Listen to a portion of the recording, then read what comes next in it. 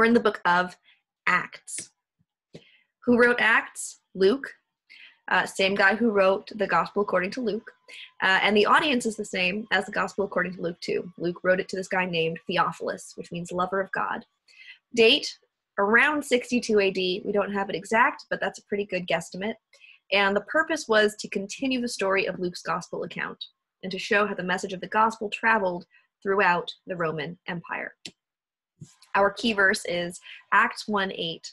But you will receive power when the Holy Spirit comes on you, and you'll be my witnesses in Jerusalem and in all Judea and Samaria and to the ends of the earth. And like I said on Monday, if you can get this verse in your mind, that's the whole book of Acts. It's right here. The Holy Spirit comes in power. The disciples are witnesses of who Jesus is. And they go from Jerusalem all the way to the entire Roman Empire. Um, so, just to kind of remind ourselves of the map, there's Jerusalem right there. This region was called Judea. North of Judea was the region called Samaria, right? And then we have to the ends of the earth. The Gospel of uh, the Book of Acts ends with Paul, the apostle, in Rome, which was the capital of the Roman Empire. And from there, the message of Jesus traveled all over the known world. Okay, so first we start in the section of Jerusalem. This is Acts chapter 1 through chapter 8.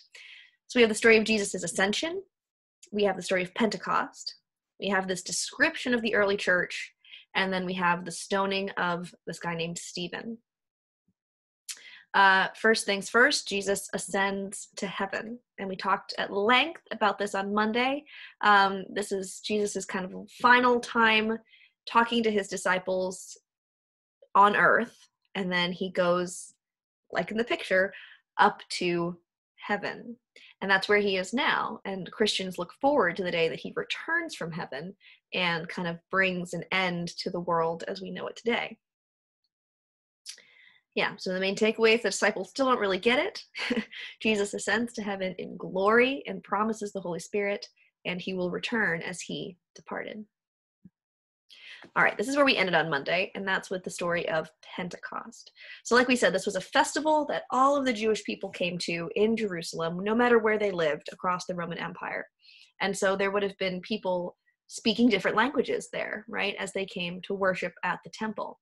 And the disciples are there, and they're waiting, because Jesus told them to wait, for the Holy Spirit and then all of a sudden there's this blowing violent wind and there's these little tongues of fire. I like the, the picture because it kind of shows the tongues of fire. And they all start speaking in tongues. And so we started talking about this on monday. What does that mean speaking in tongues? And some christians take this to mean that the disciples were speaking this kind of otherworldly heavenly language um, and that it's just that the people who were there hearing them heard their own language as if it was being spoken. So there's kind of this dual miracle happening. There's the miracle of the disciples speaking this heavenly language, and there's this miracle of all the other people there hearing that heavenly language in their own language. Alternatively, some Christians say, no, there wasn't a heavenly language here. It's just that the disciples were speaking in Syrian and you know Latin and Greek and Aramaic and Hebrew. They were speaking all these different languages. Um, they weren't speaking a, a heavenly language. They were just actually speaking different earthly languages. Um, yes, and so we kind of continue the story. It says, utterly amazed, they, being the other people that were there, asked, Aren't all these who are speaking Galileans? Then how is it that each of us hears them in our own native language? Parthians, Medes, and Elamites, residents of Mesopotamia, Judea, Cappadocia, Pontus, and Asia, Phrygia, Pamphylia, Egypt, and parts of Libya near Cyrene, visitors from Rome, both Jews and converts to Judaism, Cretans and Arabs, we hear them declaring the wonders of God in our own tongues. Amazed and perplexed, they asked one another, What does this mean? Some, however, made fun of them and said, They have had too much wine.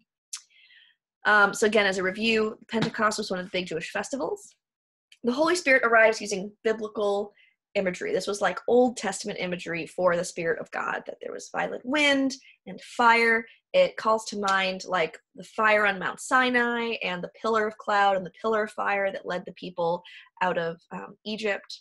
And then again, this idea of these different languages being spoken. And especially this part where, you know, some are saying they've had too much wine. If they were clearly speaking some other known language, then wouldn't everyone have been able to tell oh wow they're speaking another known language? So that that verse there verse 13 makes people go hmm maybe maybe there was something else going on. Uh, we watched this video in class. I'm going to post this whole google slide uh, to google classroom. So if you want to go back and watch it again you can or you can also just google you know youtube christian speaking in tongues and you'll get lots of examples of different people um, modern people expressing what they believe is the miracle of speaking in tongues. And again, Christians are divided on this issue. So, this is something we want to keep in mind as we read the book of Acts, right? Uh, are we going to read the book of Acts in a way that is descriptive or prescriptive? What do I mean by that? Well, throughout the book of Acts, there are things that happen that just don't seem particularly normal today, right? So whether you think the people were speaking in a heavenly language or you think that they just like miraculously all of a sudden could speak a language they had never studied, um, that doesn't happen often today, right? Um, also, we're going to encounter miracles in the book of Acts. People are going to be healed. Uh, and even just this idea of people selling everything they own and living this like communal shared lifestyle. It's just not normal. It's just not how we live life today. So the question is are these examples of things that are being described? They happened that way, but might not happen like that again. This is just describing what happened during this one period in church history. Or are the things happening in the book of Acts being prescribed? Just like a doctor might prescribe you medicine and tell you you need to take this medicine. Should we read the book of Acts and say, wow, whatever's happening in this book is the way things should happen today? And um, that's the debate. that's the debate that exists among scholars and theologians and Christians all over the world. Are these things being described in Acts descriptive? They were only supposed to happen back then. We shouldn't expect them to happen today. Or are they prescriptive? This is the way that God works, and we should live life the same way that they lived back then. All right. Um, going on, we have this description or is it a prescription, right, of the early church from Acts chapter 2. It says they devoted themselves to the apostles' teaching and to fellowship, to the breaking of bread and to prayer. Everyone was filled with awe at the many wonders and signs performed by the apostles. All the believers were together and had everything in common. They sold property and possessions to give to anyone who had need. Every day they continued to meet together in the temple courts. They broke bread in their homes and ate together with glad and sincere hearts, praising God and enjoying the favor of all the people. And the Lord added to their number daily those who were being saved. So, what can we notice from this passage here? Uh, first of all, they're still meeting in the temple courts. And there's a nice little picture there of what the temple courts might have looked like um, because everyone was still Jewish, right? We need to keep in mind the historical context here. Jesus was Jewish all the disciples, the 12 disciples, were Jewish, and all of these first people who were believing in Jesus were coming from a Jewish background. And for them, they didn't think of it like they were starting a new religion. They thought that they were still being Jewish. It's just that they were Jews who had accepted Jesus as being the Jewish Messiah. Um, today, you know, we see Christianity as being distinct from Judaism, but at this point in history, it wasn't distinct. All of these early believers were from a Jewish background and continued to practice their Jewish faith with some caveats, right? Um, for example, they're meeting together to talk about Jesus in the temple rather than offering sacrifices in the temple. Um, so they didn't have church buildings. That's another thing that we can notice, right? Uh, they would meet from time together in each other's homes. So they did have these times of fellowship and, and shared time, but it wasn't in a church building the way that we think of it. And also, there are these wonders and signs being performed by the apostles. Um, yeah, in verse 43, everyone was filled with awe at the many wonders and signs. That's kind of um, Bible shorthand for miracles, right? So when Luke says that they were performing wonders and signs, it means that they were doing supernatural things and that people were seeing this and recognizing it and being drawn in because of it. Again, is this a description of the way that the church was, but not the way the church is supposed to be today? Or is this what we should be aiming for today as we worship? That's the question. But this is, if, if nothing else, it's definitely telling us what it was like for those earliest Christians um, beginning to follow the Holy Spirit in the book of Acts. Okay, so then we have this kind of sad story. It's a sad story, the stoning of Stephen. So we see this in Acts chapter 6 and 7. It says, When the members of the Sanhedrin heard this, they were furious and gnashed their teeth at him. So this is Stephen gives this big sermon, this big speech, uh, recounting kind of the whole Bible and ending with, you know, we should believe in Jesus. And here's this thing to remember while all of the earliest Christians were Jewish, not all of the Jewish people at that time bought into Christianity.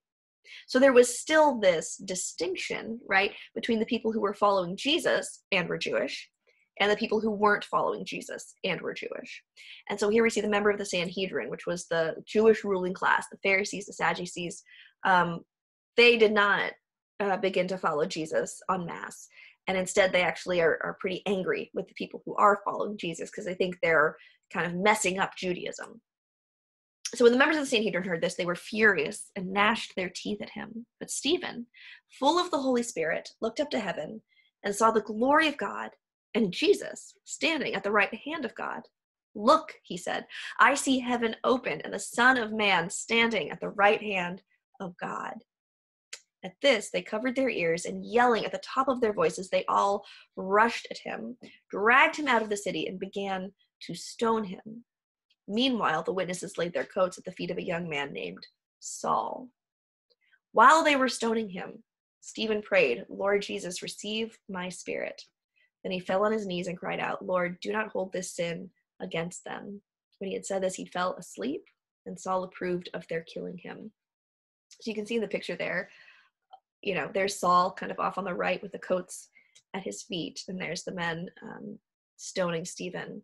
So stoning was an Old Testament form of capital punishment. So today we think of like lethal injection or, you know, the electric chair. The Romans had crucifixion and Jewish people had stoning. And during this time of the Roman Empire, it's unclear whether or not the Jews were really supposed to be using their form of capital punishment on other people because they were part of the Roman Empire. Um, but but here they do, and so they're they're stoning, and they, I mean they attempted to stone Jesus, right? If you remember the story in, in John's gospel, how when Jesus said, I am, right, they took out stones to stone him, but Jesus slipped away. Uh, so here they do. They execute Stephen on the grounds of blasphemy because he's saying that same thing Jesus was saying that Jesus is God. And so as a result, Stephen is considered the first Christian martyr. Martyr is a fancy word for someone dying for their beliefs. And so Stephen is the first person who died for their beliefs in Christianity. And we're also introduced at this point of the story to Saul. And Saul, as we've already talked about, is going to have this miraculous conversion experience and become Paul and end up writing a good part of the New Testament and, and being friends with Luke, the one who wrote Acts. Um, but at this point in the story, he is not on the side of Christians. In fact, he is there overseeing this execution that's taking place. All right, next we have Judea and Samaria.